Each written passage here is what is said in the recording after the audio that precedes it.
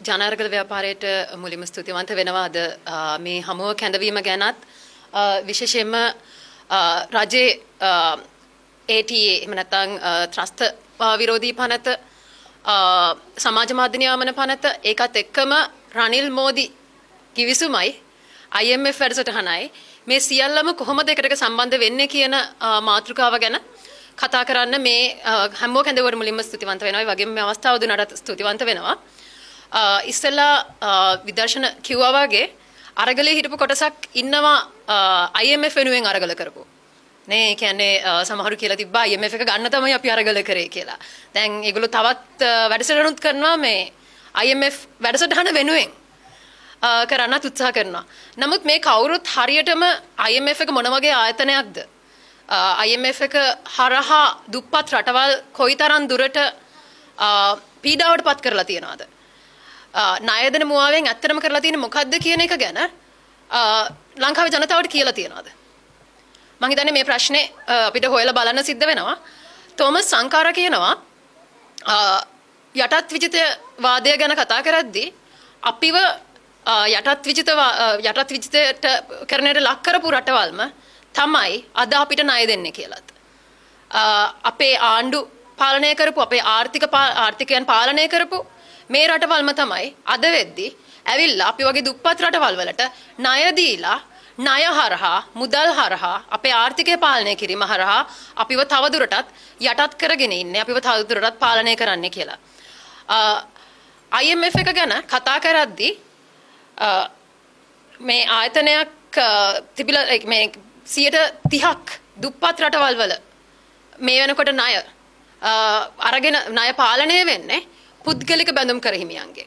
ඒ වගේම මධ්‍යම ආදායම් අරගන්න රටවල් බැලුවොත් එහෙම ඒ වයින් 50ක ණය හිමි කරගෙන ඉන්නෙත් මේ පුද්ගලික බැඳුම් කර හිමියන්. එතකොට IMF එක ඇත්තටම වැඩ කරන්නේ මේ දුප්පත් රටවල් වල අභිවෘද්ධිය සඳහාද මේ දුප්පත් රටවල් වල ප්‍රශ්න විසඳන්නද එහෙමත් නැත්නම් මේ පුද්ගලික ණය හිමියන්ගේ පුද්ගලික බැඳුම් කර හිමියන්ගේ වාසියටද ඒගොල්ලෝ වෙනුවෙන්ද කියන එක ගැන හොයලා බලන්න ඕනේ.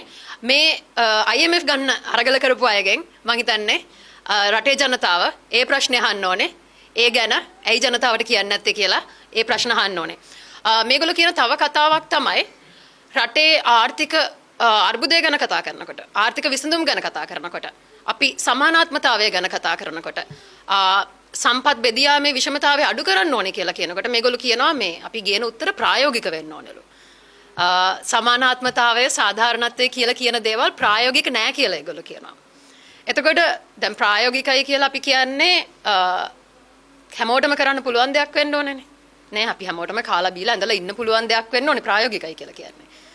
එක කොටසකට ප්‍රායෝගික නැති තව කොටසකට විතරක් සුළු කොටසකට විතරක් ප්‍රායෝගික දේවල් ප්‍රායෝගික උත්තර විදිහට පිළිගන්න බෑ. මේ අද වෙද්දි ශ්‍රී ලංකාවේ ජනතාවගෙන් මිලියන 7ක් දුප්පත්. එතකොට මේක ප්‍රායෝගික උත්තරයක්ද මේ අපි අත්විඳින්නේ? ඊට අමතරව අරගත්තොත් එහෙම රටේ ජනතාවගෙන් පොඩි දරුවන්ගෙන් 15000කට වැඩිය මන්ද පෝෂණයෙන් පීඩා විඳිනවා. එතකොට මේ උත්තර ප්‍රායෝගිකයිද?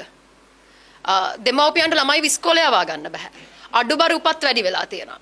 මේ කිසි දෙයක් ප්‍රායෝගික වෙන්නේ කොහොමද? මොකද මේ දේවල් මේ දරුවන් ගැන කතා කරනකොට දරුවන්ගේ මන්ද පෝෂණය මේ අඩුබර උපත් මේ දේවල් මේ වර්තමානයේ විතරක් බලපාන ගැටලු නෙමෙයි.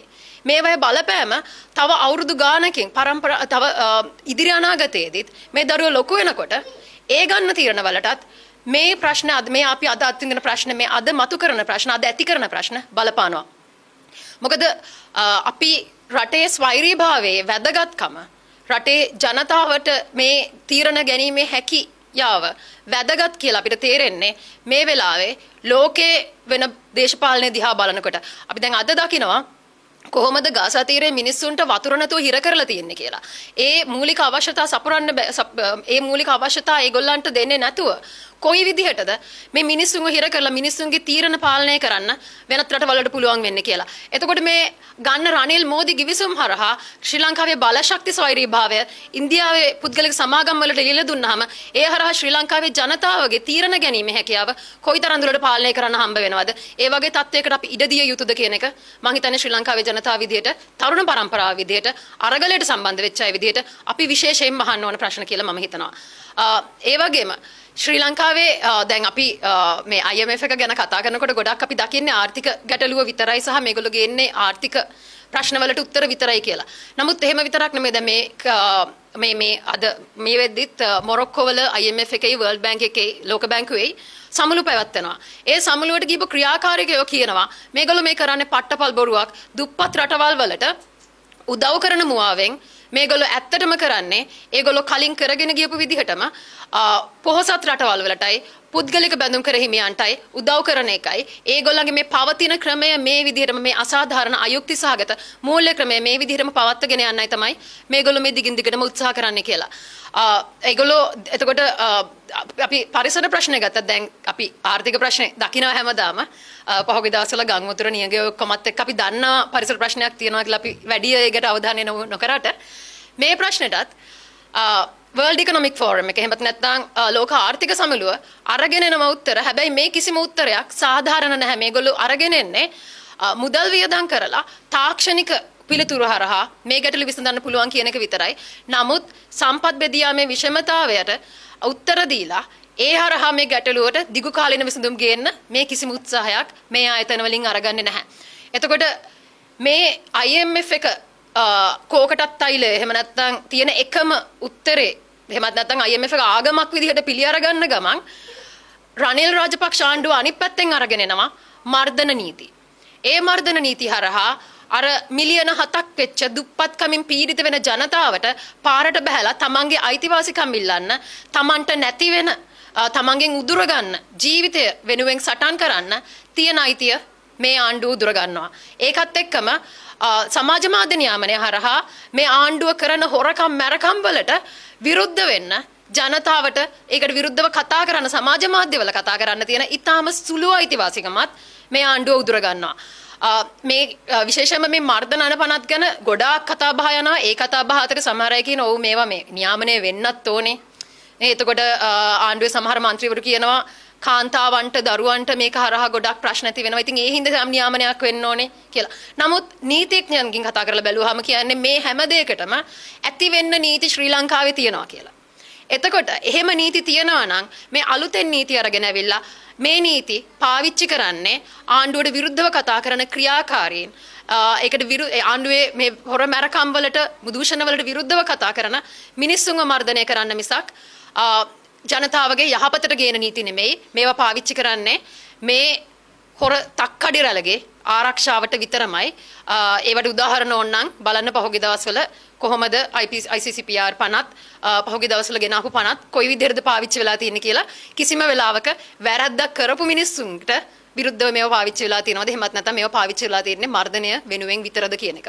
ඉතින් අර කිව්වා වගේ ලංකාවේ නීති පද්ධතිය ඇතුළතදී මේ අකටයුතුකම් වලට ඇතිවෙන්න අනපනත් තියෙද්දි තවත් නීති අරගෙන එන්නේ ජනතාව මර්ධනය කරන්න මේගොල්ලන්ගේ මේ ආර්ථික වැඩපිළිවෙල කරගෙන යන්න අවශ්‍ය ඉඩකඩ හදාගන්න. මොකද එහෙම නැතුව ඒ මිනිස්සුන්ව බය කරන්නේ නැතුව බය පාවිච්චි කරන්නේ නැතුව මේ ආණ්ඩුවට පුළුවන් කමක් නැහැ මිනිසුන් මේ ආර්ථික වැඩපිළිවෙල ඉස්සරහට ගෙනියන්න.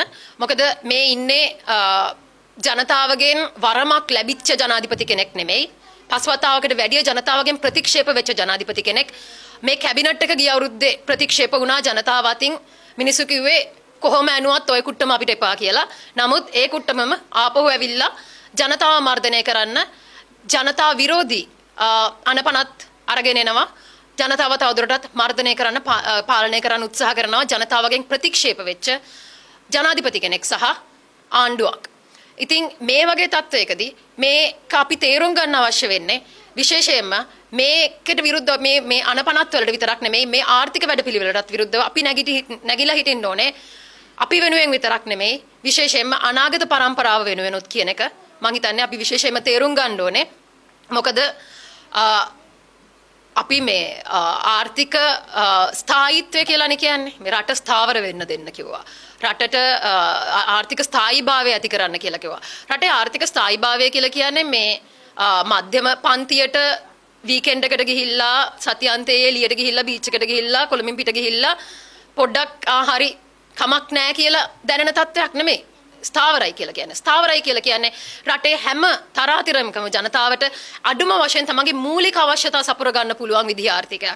ඒ වගේ ආර්ථිකයකට නෙමෙයි මේ ආණ්ඩුව මේ උත්සාහ කරන්නේ මේ ආර්ථික වැඩපිළිවෙලෙන් ගේන්නේ ඒ වගේ වැඩපිළිවෙලක් නෙමෙයි මේකෙන් උත්සාහ කරන්නේ අර ඉහළ පන්තියේ ව්‍යාපාර ව්‍යාපාර පැලැන්තියට ඒගොල්ලන්ගේ බිස්නස් වෙනද වගේම කරගෙන යන්න පුළුවන් වෙන විදිහේ ඒගොල්ලන්ගේ ලාභ වෙනද වගේම උපය ගන්න පුළුවන් විදිහේ වැඩපිළිවෙලක් මිසක් ජනතාවාදී ජනතාවට යහපත් වැඩපිළිවෙලක් නෙමෙයි. ඉතින් විශේෂම අරගලයට සහභාගී වෙච්ච තරුණ පරම්පරාව විදිහට අර ඉස්සලා තරිඳුත් කිව්වා වගේම හිතන්නේ අපිට අපි අපේට පැටවිච්ච වගකීමක් තියෙනවා. නේ කියන්නේ අපි වැඩ කරපු විදිහ හින්දා හරි ඒක ආණ්ඩුවේ මර්ධනය නිසාම හින්දා වෙන්න හරි හින්දා වෙන්න හරි ලැබිච්ච යම් අවධානයක් සහ ඒ අවධානයත් එක්කම ලැබිච්ච වගකීමක් තියෙනවා. ඒ හින්දා මම හිතනවා අරගලයට සම්බන්ධ වෙච්ච විදිහට අපිට විශාල වගකීමක් තියෙනවා. හරි පැත්තේ හිට ගන්න හරි දේ වෙනුවෙන් හිට ගන්න ජනතාව වෙනුවෙන් හිට ගන්න. අපි මේ වෙලාවේ අරගල කරන්න ඕනේ.